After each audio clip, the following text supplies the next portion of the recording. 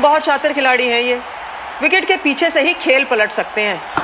और लीजिए, दिखा दिया अपना कमाल। क्या तेज़ी है इनके हाथों में? बिजली की रफ्तार से स्टंपिंग करते हैं।